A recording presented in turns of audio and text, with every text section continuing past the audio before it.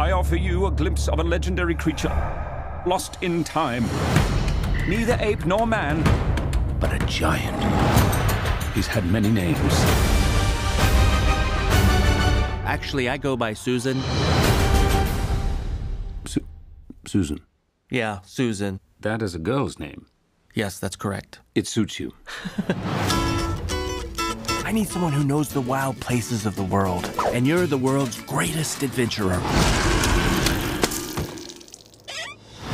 What exactly do you ask of me? I'm lonely. I'm the last of my kind. But on the other side of the world, they talk of this creature. The Yeti. I think these Yetis are my cousins. Can you take me there? I give you my word. Okay, what is it? What? Your word. No, it's a figure of speech. Sounds good. What is it? Well, I'm on my way. We have a long way to go. We'll need a map. We're not gonna break in, are we? Climb the wall and pull me up. I'm taking my time, but I don't know oh, where. Bravo. Thank you. Now, to find the place you belong, you'll need to keep a low profile. Um. A and Julio are down by the schoolyard. Oh boy, that is gonna let in an awful draft.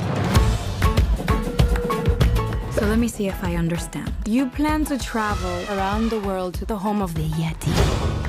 I know the secret ways through the mountains. You see, Gamu, whatever you do, do not mention the chicken. No chicken, got it. Zip.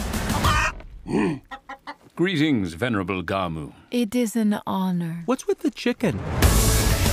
It will not be easy, but we will find your place. Throw the knife, Bowie! Mm. I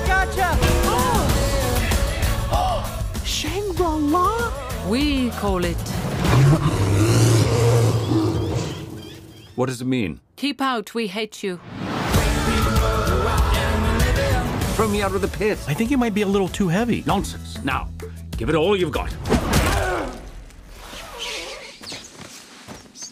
Oh, it's hard to know whose fault that was. Let's do it again.